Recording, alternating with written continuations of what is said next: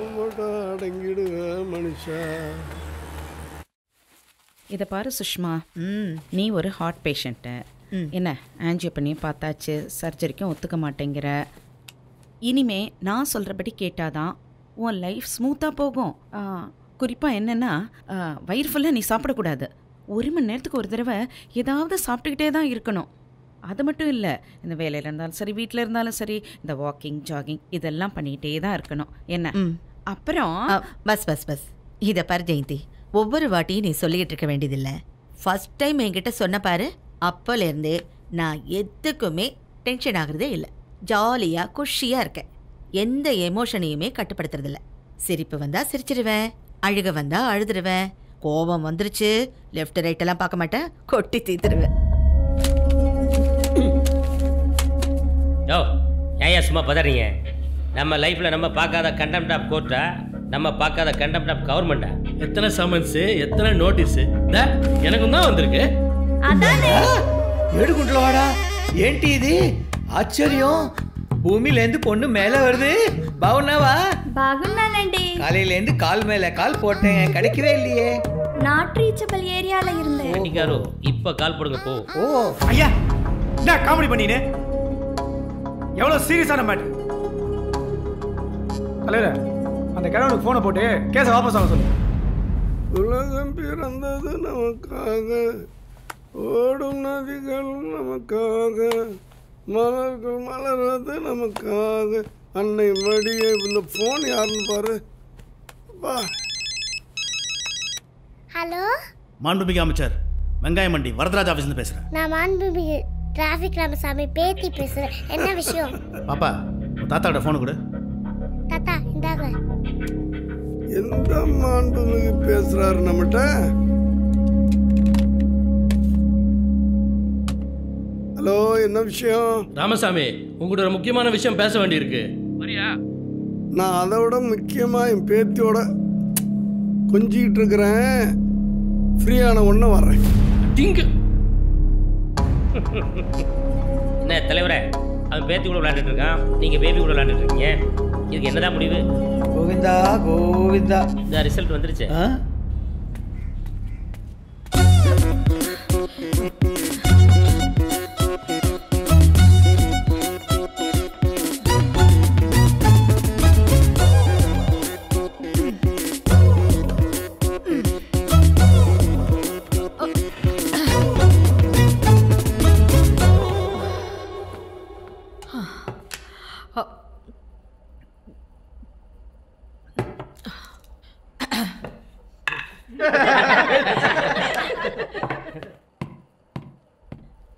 ஆ? ஆ மேடம். தோ பரோட்டா. சரிங்க மேடம். குருமா. ம். பிச்சு பிச்சு டாலோ. ம். அப்புறம் எக் ஸ்பூன் சரிங்க மேடம். சீக்கிரமா போயிட்டு வா ஓடு ஓடு ஓகே மேடம்.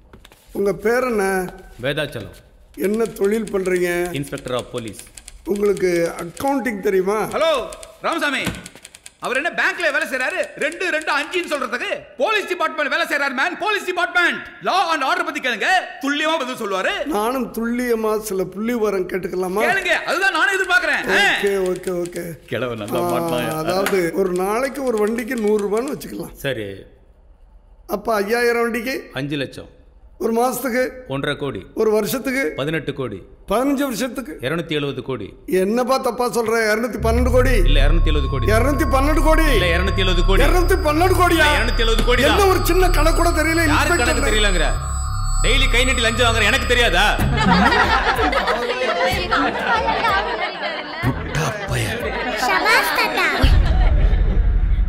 யார் இது?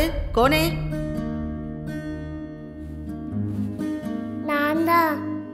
யார் நீ? ராமசாமி பேத்தி. ஓ ம். சரி சரி. என்ன படிக்கிற? தேர்ட் ஸ்டாண்டர்ட் கிரிக்கெட் தெரியுமா? ரொம்ப ரொம்ப பிடிக்குமே. சரி. கேட்ச் படி பார்க்கலாம். ஆ. ஆ.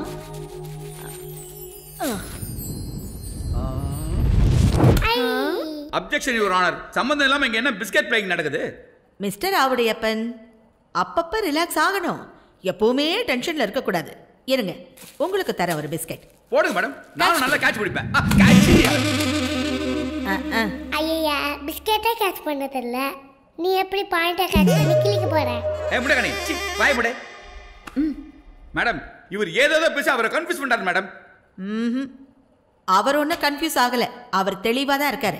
சட்டம் ஒரு இருட்டறை அதில் வக்கீலின் வாதம் விளக்குன்னு அறிஞர் என்ன சொல்லியிருக்காரு. நீங்க விளக்கு ஏத்தலைன்னா பரவாயில்ல. எரிஞ்சுக்கிட்டு இருக்கிற விளக்கு அணைக்காம இருக்கலாம்ல. நீ எனக்கே புத்தி சொல்றியா? இல்லாதவங்களுக்கு சொல்லாம்ல. அப்ப எனக்கு புத்தியே இல்லைங்கிறியா? நான் சொல்ல நீங்க தான் சொல்லிக்கிறீங்க. ராமசாமி வார்த்தையை அளந்து பேசு.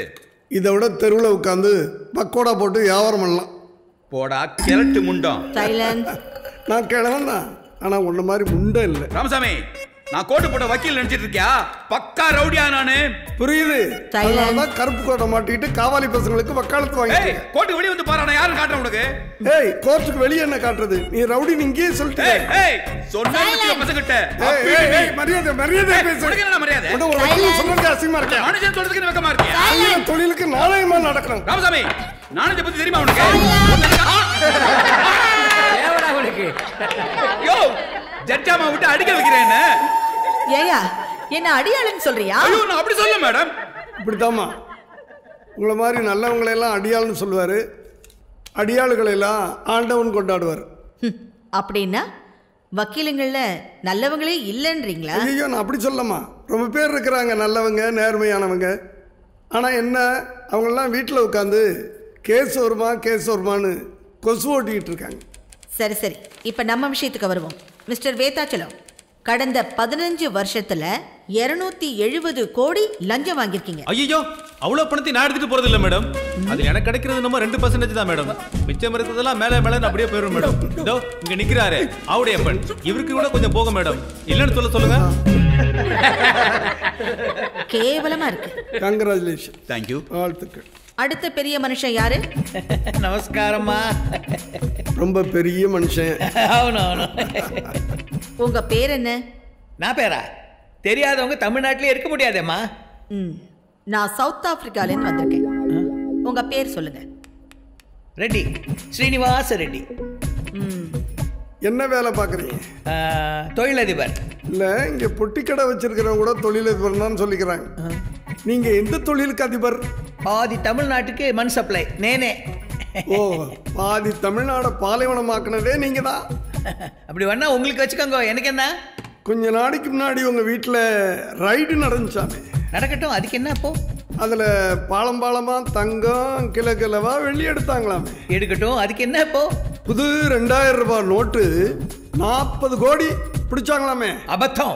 நாற்பத்தி நாலு கோடி. சின்ன கணக்கு விட்டனும் ஆ, அவங்க ரெண்டு பண்டில் விட்டு போயிட்டாங்க. முக்கியமா ஒரு இம்பார்ட்டண்ட்டான டைரி சிக்கிடுச்சான் அதில் பெரிய பெரிய புள்ளிங்கள்லாம் மாட்டிக்கிட்டாங்களாமே? அவங்க தானே மாட்டிக்கிறாங்க. எனக்கு என்ன இப்போ? அம்மா இதுக்கு மேல ஐயாட்ட கேள்வி கேட்டு பிரயோஜனம் இல்லை அனுப்பிச்சிடலாமா? விட்டுலாமே எனக்கு என்ன இப்போ? ஜரிகண்டி ஜரிகண்டி. ஆ வஸ்தானம்மா வஸ்தானம்மா நெக்ஸ்ட் பிட் ஷாட் ஐயா பேர் என்ன? யுவர் ஆனர் என்னை யார் கேள்வி கேட்டாலும் எனக்கு பிடிக்காது. அச்சா. ஏன்னா நான் முன்னாள் மாவட்டம் ஆ. இந்நாள் எம்எல்ஏ ஓ. நாளைய சிஎம் சிஎம் அதுக்கு தானே ஆளாளுக்கு அடிச்சுக்கிறீங்க மூன்றையா? இந்த ரெண்டாயிரத்தி ரெண்டுல மீன்பாடி வண்டிலாம் ஓட்டக்கூடாதுன்னு சட்டம் போட்டிருக்கீங்களா மேடம் கரெக்டு அதையும் மீறி நாங்கள் ஓட்டிக்கிட்டு இருக்கோம். கரெக்டா மேடம் கரெக்டு அப்ப இது கண்டெம்ட் ஆஃப் கோர்ட் கரெக்டா மேடம் பக்கா கரெக்ட் கவர்மெண்ட் எந்த சட்டம் போட்டாலும் நாங்கள் மதிக்க மாட்டோம். தெரியுமா மேடம் ஆ? அது எப்படி? சில்லறையிலேருந்து வரைக்கும் மாசா மாசம் மாமூல் போகுது.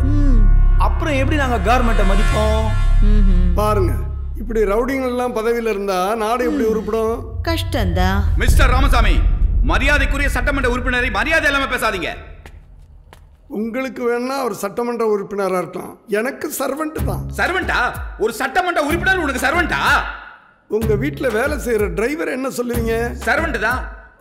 கவர்மெண்ட்ல வேலை செய்யற ஒரு ஆளை என்ன சொல்லுவீங்க? இது என்னையா கேள்வி? அவனும் கவர்மெண்ட் சர்வெண்ட் தானே?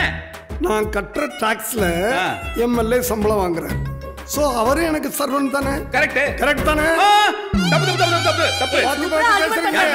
நீ விதண்டாவாதம் பண்றதுக்கு வந்திருக்க நீ. நீதான் தண்டாவாதம் பண்ற? நானா? ஆமா. ராமசாமி என் லாயர் கேரியரை கட்டிட்டு வர நீ. நீ லாயரா இருந்தா தானே கிடக்கிறது? பாட்டி ரெண்டு பேரும் கத்தினே இருக்காங்க.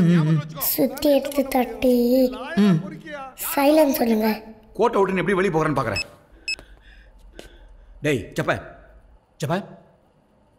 கோர்ட்டுக்கு வெளியே பத்து பேர் எட்டுன்னு வா. இமீடியட்டாக போட்டு தள்ளணும் ஒருத்தனை. சார் இது police station sir. Police ஸ்டேஷனா? Wrong number sir. இந்தா நீ ஏன் தட்டி சொல்லு.